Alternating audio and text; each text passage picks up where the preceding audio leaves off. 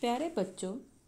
इस तरह से आप महारत पर मुबनी मुख्तलिफ़ सरगर्मियाँ कर सकते हैं और मुख्तलिफ़ किस्म की आरइशी अशिया बना सकते हैं